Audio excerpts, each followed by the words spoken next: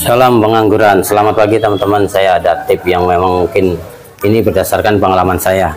Jika teman-teman menemukan kutu perisai seperti ini di dalam pohon atau di batang pohon yang masih hidup, pengalaman saya saya olesin pakai oli, tapi tipis aja, jangan sampai blewer kayak pajat pinang. Itu nggak bagus. Itu sangat efektif dan hilang dan sembuh. Ini sangat menyebalkan memang kalau di pohon yang masih hidup kan kulitnya sampai pentol-pentol. Ini pasti gatel. Pakai oli dipakai kuas. Tapi tipis saja jangan sampai dilewer. Nanti ke media kemudian akan eh, mencemarkan si media tersebut. Pakai saja daripada pakai yang repot-repot kimia dan sebagainya mendingan pakai oli bekas.